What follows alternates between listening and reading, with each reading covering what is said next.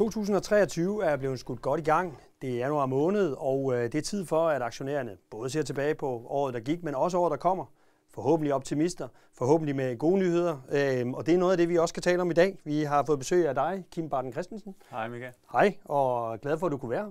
Det, er, det skal handle om uh, Brain Plus, et selskab, som uh, jeg personligt jo har fulgt, siden I blev noteret på Nasdaq i København.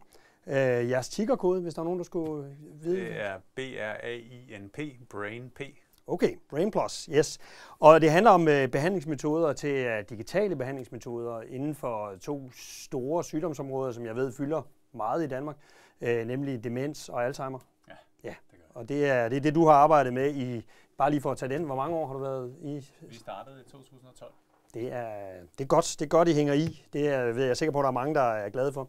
Og vi har en, øh, en session foran os her, hvor vi har aftalt, at vi skal se tilbage på, hvor I kommer fra sidste år. Det er ingen hemmelighed, det var et uh, travlt år. Jeg tror, I var blandt de selskaber, som i hvert fald kom ud med, om ikke flest nyheder, men I, var, I havde meget, uh, I knoklede på sidste år, og det skal vi tale lidt om. Vi skal også se på, hvor I skal hen i, i 23. Så, så velkommen til, og, og godt nytår. Jo, tak. Ja.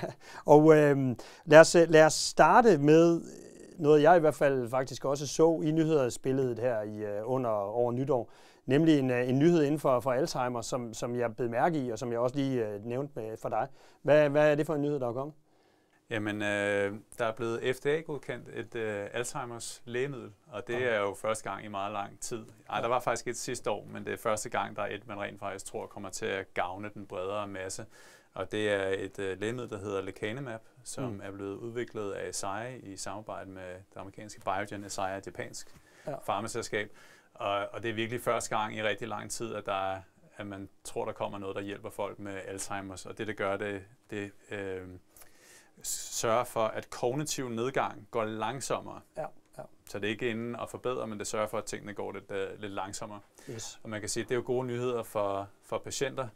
Prisen er høj. Det er øh, 26.000 øh, US dollars øh, per behandling per år.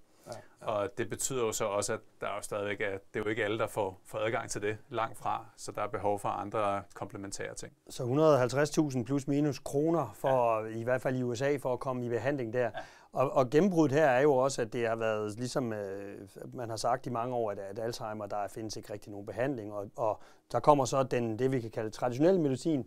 I arbejder jo så på den digitale medicin, og. Ja. derfor er det også et gennembrud, at man, at man får at man får ligesom øh, bekræftet, at, at det, kan, det, det kan behandles. Og så har I også alt andet lige en bedre mulighed for, af jeres opfattelse vel sikkert, at komme ind med digitale øh, produkter også. Ja, absolut. Og, og vores produkt øh, har samme sundhedseffekt i form af at øh, gå ind og mod, modvirke kognitiv nedgang i folk med Alzheimer, som er det primære symptom, du får, når du har både Alzheimers og når du får en demensdiagnose, som betyder, at Alzheimers sygdom er, er ret øh, fremskreden.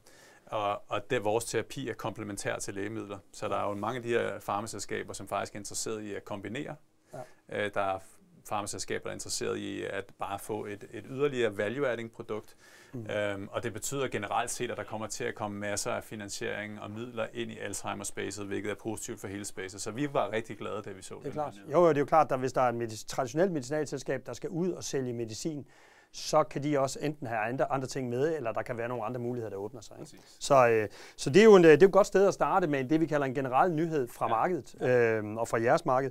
Og, øh, og så ellers skal vi jo prøve at, at se lidt tilbage. Altså, vi har øh, haft øh, besøg af dig et par gange i, i 2022, og der var, der var nyheder med hver gang, og nu har vi så ligesom en, en opsummering, hvor vi både ser fremad, men også de ser tilbage. Fordi Q4, øh, eller det vil sige, det var Q4 sidste år, det, det var, øh, det var et, et travlt. Altså, I var ude med ja, 3-4 nyheder. Øh, du har taget nogle af dem med. Altså, I har, I har introduceret jeres første produkt lidt før tid i Danmark. Øhm, Absolut, ja. Ja. Lidt, lidt før, det var så to år før. før Meget før tid. op- Den- oprindeligt den får du. planlagt, øh, og den vi meldte ud, ved, Ja. ja. da vi gik på børsen. Ja. Så det var jo virkelig dejligt at kunne bringe det første produkt øh, til markedet. Og, øh, og vi fik også øh, inden for års, årets udgang lukket vores første salg okay. Øhm, nu er jeg fra Jylland, så lidt før, det betyder, du ved, det, er- det, det, det, det, det, er, det er to år, ikke? Nej, men no, noget før i virkeligheden. Noget, noget, noget før i virkeligheden, ja. Så det var jo virkelig, det er virkelig dejligt. Og det betyder så også, det markerer jo et markant skift, hvor vi går fra at være et pre-revenue selskab til at være et uh, selskab, der genererer omsætning. Mm. Mm. Ja, så vi, uh, vi solgte vores uh, første produkt til, ind til Herning Kommune, mm. og annoncerede det faktisk den 31. i, i 12. Ja. Altså, det var ja. en god nyheds... Øh, det var en nytårsaftens øh, dags nyhed. Ja. Præ- præcis. Ja. Og, og, og for at der ikke skal være nogen tvivl, så det, det her det er vores første produkt i en række af produkter, som mm. vi er, har under udvikling. Ja. Og det første produkt, det er til at støtte terapeuter, der leverer det, der hedder kognitiv stimulationsterapi. Ja. Og den måde, det bliver givet i Danmark, for eksempel i en kommune som Herning, mm. i deres træning, det vil være i deres træningscentre og klinikker, hvor folk de kommer ind, og så er de en gruppe af 4-5 stykker med en terapeut, som er trænet til stede, som tager dem igennem en sådan 40 minutters session, hvor de både har en struktureret samtale og laver en række strukturerede aktiviteter. Mm. Og det er enormt stimulerende for hjernen, og det har, har vist effekt og forbedring i kognition hos mennesker med mild til moderat demens. Og det sker så i, i disse dage, er I ved at rulle ud uh, i, ved, ved Herning Præcis. Ja. Vi er ved at rulle ud i, i disse dage med Herning Kommune. Ja. Så har vi dialoger med en række andre kommuner. Det er blevet rigtig godt modtaget i de sådan, pilotintroduktions uh, uh, samarbejder, vi havde med kommuner her i, i Q4. Og øh, man kan sige, at den normale salgscyklus i en kommune, den er sådan 6-18 måneder, og ja. vi er allerede lykkedes inden for to med den første kommune, kan man sige. Så vi, vi er optimistiske i forhold til at kunne vise noget mere her i, i løbet af året. Jamen, jeg ved øh, fra andre øh, projekter og virksomheder, jeg også har været involveret i, i min tidligere fase, at det, er, det tager lang tid. Altså kommuner kan jo tage utrolig lang tid. Ja. Og, og, og et er så at komme ind, et andet er så også at få det implementeret, at de, at de tager det til sig, og det bliver brugt hos de rigtige. Ikke? Ja. Har, har du så øh, ansat en, der er dedikeret til kommunesektoren i Danmark? Eller? Ja, vi har en, altså en meget, meget erfaren business development manager, som selv har startet og Øh, en af de førende softwareløsninger til kommuner for børn med autisme. Ja, okay. Og faktisk har solgt sit selskab på det, så han er ansvarlig for at hjælpe os med at bygge den del op her i Danmark. Så Danmark øh, første produkt, det er en af, kan man sige, hjørnestenene i, i din rejse, og så er du i gang med et pilotprojekt også med, øh, med ældresagen ved Ja, og øh, det er rigtig spændende. Ældresagen har jo 900.000 medlemmer i Danmark, og, og derved har de fleste af demenstilfældene og Alzheimer's-tilfældene af mennesker, som lever med de, med de øh, konditioner, er jo medlemmer af ældresagen, kan man sige. Det, som ældresagen også har, det er en masse frivillige. Mm. Og det, som piloten går ud på, er at undersøge, om i stedet for, at det er en kommunal ansat terapeut, om det kan være en frivillig, der tager vores øh, kognitiv produkt med hjem til medlemmerne, med fokus på medlemmer, som har øh, mindst moderat demens, ja. og leverer den terapi i, i deres hjem. Og det er enormt relevant for os af mange årsager, men også fordi at frivillige faktisk bliver brugt i rigtig mange lande til at hjælpe i, i hjem med folk med folk, der har demens. Ja, så det vil sige, at, øh, at, at det, og det kører som så et, øh, et hvordan, hvordan bliver det kommercialiseret? Jeg ved, du har en, øh, en slide på, på, på ældresagen også der, men altså, hvordan bliver det kommercialiseret for dig?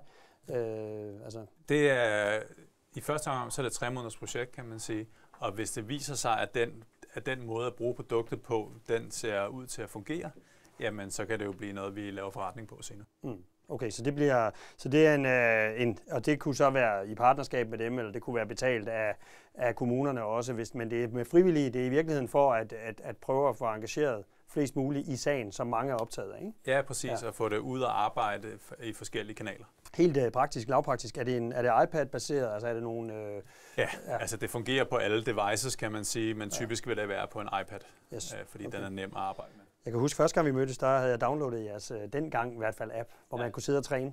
Ja. Øh, så den, øh, så den, den fandtes, den prøvede jeg. Ja. Jeg har holdt mig i gang. Øhm, nå, vi skal, vi skal videre ud i, i virkeligheden både det, der er sket, fordi du satte jo gang i både produkterne, men du har også sat gang i markedsudvikling. Og, og det er ingen hemmelighed, I skal være, I er globale og skal være globale. Ja. Og det betyder, at I er allerede nu øh, i gang i Tyskland og ja. på vej i England også. Ja. Øh, og det har du taget et par, et par slides med for lige at vise os, øh, hvad, hvor I er kommet til. Ja. Oversættelser af jeres applikationer til tysk osv. Ja, lige, lige præcis. Altså Tyskland har vi jo været ude og melde ud, at vi kommer til at introducere det første produkt, det samme produkt, som vi har introduceret i Danmark i øh, andet kvartal her i år. Okay. Og det gør vi i en række tyske samarbejder, som vi har. Det første, det var et stort farmasamarbejde, vi havde med Roche Pharma, som er jo en af de store spillere inden for Alzheimer, og deres tyske datterselskab, der hedder Rox Health, og de hjælper os med alle de kan man sige, regulatoriske ting, så vi er sikre på, at vores produkt passer ind på markedet. Mm. Så lavede vi samarbejde med en øh, distributions- og salgsvirksomhed, som hedder Coop med, som er specialiseret i at bringe innovative produkter ind på det tyske marked. Mm. Og, og så blev vi også valgt til det, der hedder Danish German Care Alliance okay. øh, sidste år, som er ligesom en, en døråbner øh, til det tyske marked, hvor vi har været ude og møde en masse af de store øh, plejehjemskæder blandt andet, og serviceorganisationer, som servicerer folk med Alzheimer's. Okay, så der er det, der er det både øh, public, altså kommuner, men det kan også være øh, private øh, organisationer. Ja. Ja. Bare for at forstå øh, en aftale størrelse, altså øh, ikke fordi jeg ved, om det er Hamburg øh, Kommune, hvis der, hvis der er noget, der hedder det, men altså hvem, hvor, hvor store er sådan nogle aftaler, man går ind og forsøger at lave? Det, det tror jeg, det vil være meget afhængigt for, om det er en, en offentlig spiller, eller om det er en privat spiller. Ja. Altså nogle af de private kæder for eksempel har måske 100 demenscaféer. Ja. Og der kan det være, en indledende aftale går på et par caféer, prøver det af, og så mm. kan man skalere op inden for, inden for den spiller. Ja, så det i første omgang handler det om at få et, et, et økonomisk hvad hedder sådan noget, commitment, altså få dem til overhovedet at, og et, tage det ind, ja. to, at få, at få noget kan man sige, for betaling, og så er det derfor, at man skal skalere sin forretning. Præcis. Typisk ja. vil de første aftaler, øh, ligesom jeg anser aftalen med Herning, være for en, en indledende introduktionsaftale, som man så kan udvide og bygge øh, på toppen af. Ja, okay. Og det er, det er i virkeligheden der, hvor, hvor jeg, jeg hører, at øh, Danmark ligger forrest, Tyskland ligger lige efter. Mm. Det var også det, vi lærte i gamle dage, der gik i folkeskolen. Det var det, det, var det vigtigste sted at tage hen først. Ja. Og så England, øh, har jeg forstået, at er et, et, det tredje sted i hvert fald også går, går ja. til nu. Ja. ja, det er det. Og, og England er et enormt interessant marked, ikke alene fordi, at øh, kognitiv simulationsterapi blev opfundet i øh, England på The University College of London, og derfor er det et af de markeder, hvor udover Danmark, at det er mest udbredt brugen af den her terapiform. Derfor vil vores produkter kunne gå direkte ind og at være meget støttende der. Vi har også en række stærke samarbejder med University of Oxford, University of Nottingham, University of, of York øh, i derovre har kørt kliniske studier i, i England. Og vi færdiggjorde vores første oversættelse af det første produkt her i, i slutningen af sidste år også. Mm. Og så vi lægger an til at gå ind og, og begynde at, øh, at kigge på det marked. Vi har ikke meldt ud præcis, hvornår vi går ind på markedet nu, men det er efter, efter Tyskland, så bliver det det, det næste fokusmarked. Og lige for kognitiv simulationsterapi, eller hvad hedder det, terapi, er jo et, et, et svært ord. Ja. I hvert fald, hvis man, hvis man, hvis man havde fået fire fadøl, så kan det godt være, at man synes, det er svært. Men, ja. men hvad betyder det? Er, er det, altså, er det hjernetræning, eller hvad? Hvad kan man, hvad kan man ja, faktisk, faktisk så, så laver man en skælden mellem hjernetræning og hjernestimulation. Ja. Eller kognitiv træning og kognitiv stimulation. Ja. Fordi de er lidt forskellige, hvor kognitiv stimulation er bredere i den forstand, at der er flere flere dele i spil typisk på en gang, hvor kognitiv træning går meget målrettet efter at træne en meget specifik okay. domæne af, ja. af kognition. Og grunden til, at den bliver så bred stimulation i kognitiv stimulationsterapi, det er fordi, at i en social interaktion, hvilket meget det går på, der vil du aktivere både sådan, din, okay. din, tale, din taleevner, dine tankeevner, dine sociale evner. Ja. Det bliver enormt sådan, bredt stimulerende. Okay. Og det er definitionen af stimulationsterapi. Okay. Jeg skal se, om jeg kan finde på et ord til næste gang, vi mødes, men uh, lad os se. så, okay, jamen, uh, men det vil sige, at, uh, at der er i hvert fald uh, på den led uh, gang i Europa, og det er også det, der har været jeres strategi, vinde Europa, og så, uh, og så se frem mod at uh, også forhåbentlig komme til USA, hvor I jo så også har, er, er i gang, uh, kan jeg forstå. Ja, absolut. Um, I USA, der, uh, der har vi en masse indledende dialoger, kan man sige. Vi har været over mange gange på besøg. Uh, lige nu er det meget få finde ud af, hvilke nogle partnere vi eventuelt skal arbejde sammen med, og få skabt noget brand awareness derover. Mm. Så vi blev udvalgt som en, kan man sige, en, det der hedder Danish uh, Texas BioBridge Partner, Texas Medical Center, som er det største sådan, uh, health uh, hospital system i, i USA, hvor mm. vi er en del af, af noget af det, som en af deres uh, udgivelser, og det er noget af det, som mange kigger på over USA. Så det var sådan en meget fin brand building ja. uh, exercise. Så det, det er sådan, vi starter derovre. Ja, og det er vel også det, de fleste oplever, at det, det, det er ikke til at time øh, USA på den måde. Altså, det kan vel også afhænge af, at der kommer nogle kommersielle partnere, som allerede er inde i USA, som så kan bringe jeres øh, tættere på. Ikke? Det kan afhænge af, af rigtig mange forskellige ja. ting. Ja. Hvor stort er det amerikanske marked, kan man sige det, i forhold til øh, Europa for eksempel? Altså er det gang med en to-tre stykker, eller er det gang med 10, eller, eller er det... Altså i forhold til, til digital terapi, så så derover så er priserne på produkter typisk sådan tre gange så høje, som ja. det er i Europa. Det er ved at udligne sig lidt mere, men alene den forskel gør det amerikanske marked typisk er, er større end flere af de europæiske stormarkeder til sammen, kan man ja. sige. Som vi også kommer ind på lidt senere, så er der også øh, investormuligheder og partnermuligheder i USA, som er, som er ret betydelige, ja. øh, når man kommer videre i, øh, i udviklingen. Ja, det er det så det er, det, er markeds, det er markedsudviklingen, og så øh, skal du heller ikke kede dig, så du ved, du har også gang i andre ting for, for forretningen, blandt andet en ISO-certificering. Øhm. Ja, så vi, øh, vi fik implementeret et uh, ISO, et uh, Quality Management System, som er ISO 13485 compliant, Og det vil sige, at alle de produkter, vi udvikler, de bliver bygget baseret på det.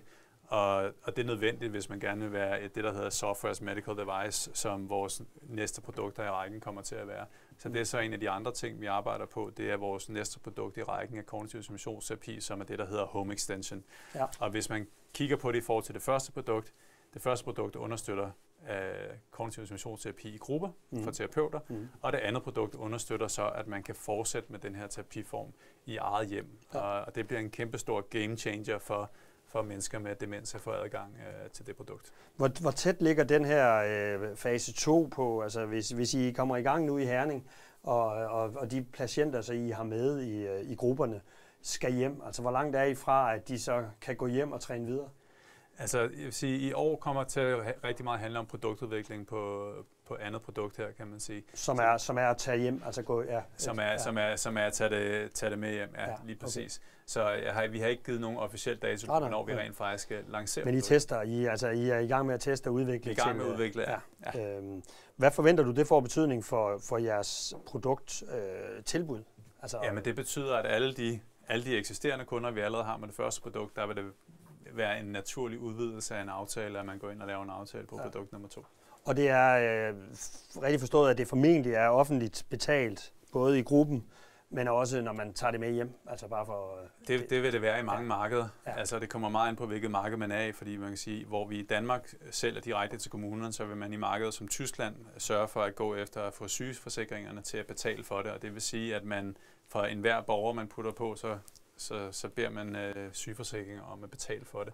Ja. Øh, så det vil være lidt forskelligt fra marked til marked, hvad de forskellige sundhedsbetalere, hvem, hvem det kommer til at være. Ja, og derfor er det også vigtigt, det der med, om det er et eller nul. Altså når man først er inde, så, så, så er det et, så har man i virkeligheden i hvert fald en, øh, en mulighed for at, at, at lave for mange aftaler. Ikke? Lige præcis. Øhm, her øh, sådan på afrundingen, altså vi startede med en nyhed, som var lidt mere generelt på Alzheimer, og så ved jeg, at der er nyheder, som er mere inden for jeres øh, sektor, om man vil, altså den digitale ja. terapi, som også, øh, altså tingene går stærkt inden for det her felt. Øh, for et par år siden er det jo rigtig forstået, der var, det, der var medicin kun noget, man, når man så må sige, øh, spiste.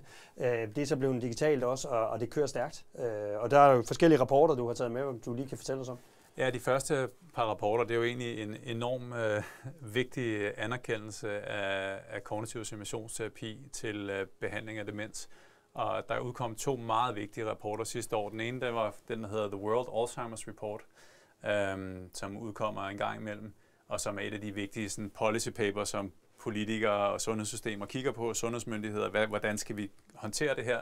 Og der var de inde og anbefale, at kognitiv simulationsterapi blev udrullet glo- globalt som en af deres primære anbefalinger. Ja, ja. Og det er jo virkelig et øh, god medvind mm. til, til vores valg af at være pionerer på, på digital kognitiv simulationsterapi.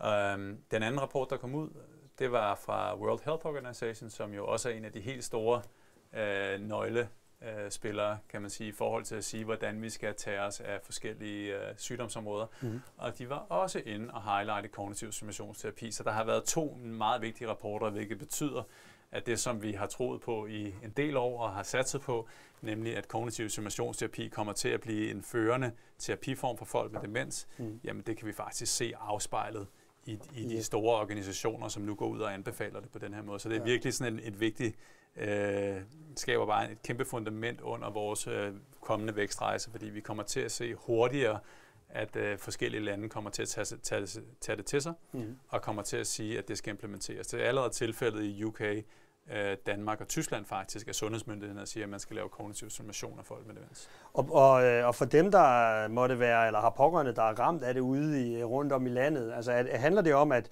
at man kan træne øh, så var det mere stimulere, det fandt jeg ud af, øh, men stimulere hjernen til, at det bliver forsinket, øh, kan man sige, sygdommen forsinkes, man har en længere god periode, det ser jeg, men, men kan det, det kan så gøres ved forskellige, det kan så gøres på en app, som er det, I kommer med, altså en digital. Mm. Men jeg tænker, at de får vel også at vide derude, at de kan træne på en anden måde. Bare lige for at forstå, altså hvad er det, hvad er træningen eller, eller, eller stimulansøvelserne ellers, bare for øh, at tage den del? Jamen der kan, ja, sådan helt, helt lavpraktisk, nogle, nogle ting vil være samtaleemner, hvor man skal tænke over ting og have ja. holdninger om yes. ting, så det er simpelthen en, en samtale. Ja. Andre ting kan være helt så simpelt som noget fysisk, nogle fysiske øvelser og nogle fysiske interaktioner med hinanden. Ja. Det kan være en anden øvelse.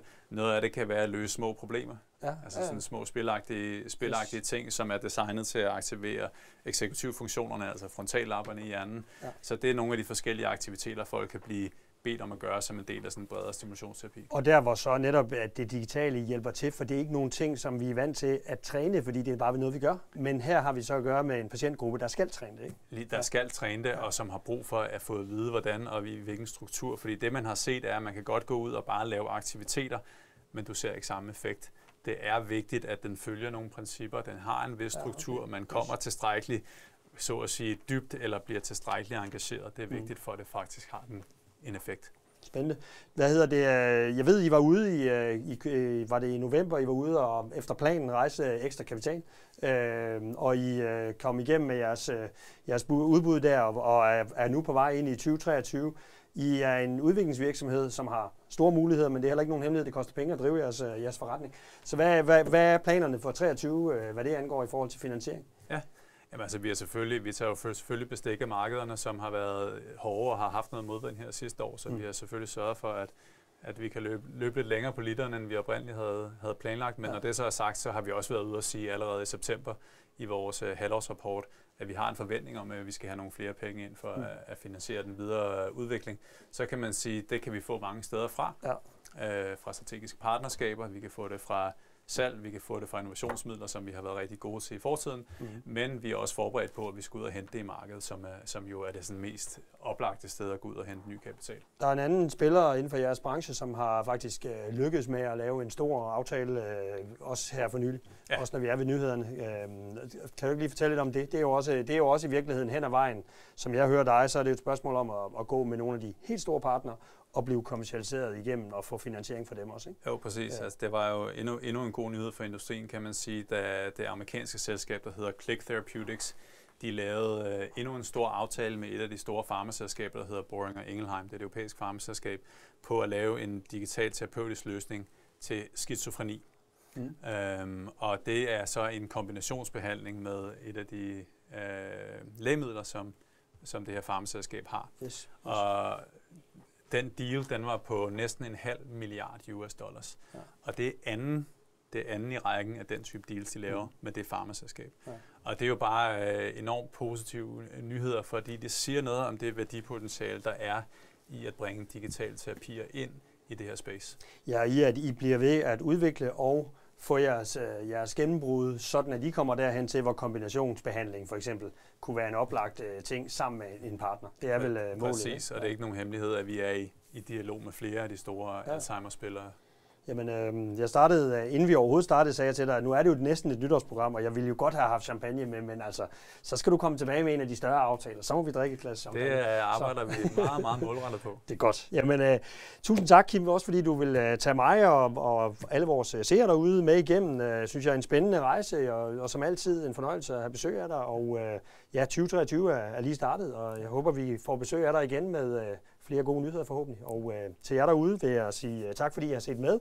Og øh, ja, følg med her på kanalen, der kommer flere gode udsendelser. Og ellers øh, også til jer, godt nytår.